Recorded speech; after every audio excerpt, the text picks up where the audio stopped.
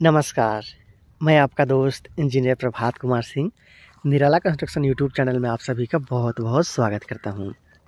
दोस्तों, डेली के भांति आज एक और वीडियो लेकर मैं आप लोग के लिए हाजिर हो गया हूँ और आज के इस वीडियो में मैं आपको एक छोटा सा, प्यारा सा बनता हुआ घर जिसका काम लेंटर लेवल तक कंप्लीट हो चुका है, उसके बारे में बताना चाहता हूँ। इस घर के अंदर ले चलूँगा, पूरा वाक थ्रू आपको दिखाऊँगा। तो अगर आप भी अपने लिए एक छोटा सा घर बनाने का प्लानिंग कर रहे हैं तो इस वीडियो को देखिए, बहुत सारा आइडिया आप ले सकते हैं कि कैसे आप कम जगह में तीन बेडरूम के साथ हॉल किचन बाथरूम और उसके साथ साथ स्टेयर भी बना सकते हैं। तो चलिए वीडियो को शुरू करते हैं। ये जो आप देख रहे हैं, ये इस इस घर का साइड व्यू है और ये है इस घर का फ्रंट व्यू तो देख लीजिए फ्रंट व्यू 20 फीट का है और 20 से 3 फीट का यहाँ पे आपको रास्ता देखने को मिल रहा है। इसके बायां साइड का बात किया जाए तो ये रहा इस घर का किचन किचन का साइज़ का बात किया जाए तो इसे सात फीट बाई छः फीट का रखा गया है। और गली के इधर का बात किया जाए तो यहाँ पर रखा गया है सीढ़ी रूम। तो ये तो थोड़ा बात सामने का चलिए, गली से अंदर चलते हैं और देखते हैं कि किस तरीक़े से इसे बनाया जा रहा है।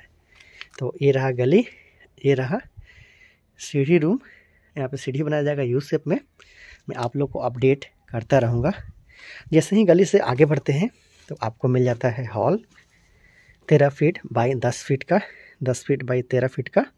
इधर में सात फीट का आप लोगों ने किचन देखा था। इसे आप देख लीजिए।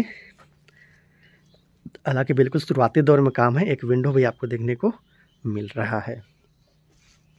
तो देख लीजिए। इधर आपका सीढ़ी था, फिर ये था गली, फिर इधर आपका था किचन वहाँ से गली से आगे बढ़ते हैं तो ये आपको मिला था हॉल ये देख सकते हैं, ये हॉल है दस फीट बाई तेरह फीट का। फिर यहाँ पे एक मिलता है आपको बेडरूम जिसका साइज़ दस फीट बाई दस फीट का है। ये देख सकते हैं। और उसके जस्ट आगे आते हैं तो आपको मिल जाता है सात फीट बाई लगभग तीन फीट का कॉमन टॉयलेट बाथरूम देख लीजिए, कुछ इस तरीके से बनाया जा रहा है। और उसके साथ साथ इस कॉर्नर का बात किया जाए तो दो रूम आपको देखने में मिल रहा है। पूरा जानकारी मैं आपको फिर से समझाऊँगा अगर आप कंफ्यूज हो रहे हैं तो लेकिन वीडियो को पूरा देखिएगा तभी आप अच्छे से समझ पाइएगा।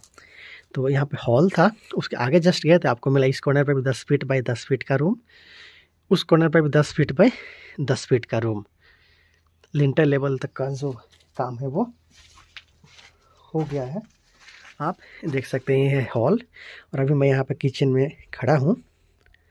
उस साइड का बात किया जाए तो उस कॉर्नर पर मिलता है आपको बेडरूम फिर उसके बगल में आपने टॉयलेट और बाथरूम देखा था। फिर ये रूम है और फिर इसी के अपोजिट साइड आपको सिटी रूम देखने को मिला था। देख लीजिए, ये रूम है और इसके बगल में सीढ़ी रूम तो मात्र 600 सौ स्क्वायर फीट में इस घर में आपको तीन बेडरूम ये पहला बेडरूम दूसरा बेडरूम यहाँ पे टॉयलेट बाथरूम फिर तीसरा बेडरूम फिर वहाँ पर सीढ़ी रूम फिर यहाँ पे किचन और उसके साथ साथ हॉल भी आपको मिल जा रहा है, जिसे आप डाइनिंग एरिया के रूप में भी इस्तेमाल कर सकते हैं। तो अगर आप भी चाहते हैं कम जगह में एक छोटा सा प्यारा सा घर बनाना तो इस पैटर्न के साथ भी आप बना सकते हैं। आप देख लीजिए कुछ इस टाइप से इस घर को बनाया जा रहा है। कॉलम का बात किया जाए तो टोटल बारह कॉलम के साथ इस घर को बनाया जा रहा है। एक, दो, तीन, चार, पाँच छ सात, आठ और यहाँ पे नौ, फिर कॉर्नर की तरफ़ दस, ग्यारह, बारह मतलब टोटल बारह कॉलम के साथ इस घर को बनाया जा रहा है। और जो टोटल कॉलम का संख्या है वो बारह है और साइज़ की बात की जाए तो दस इंची बाई दस इंची का है।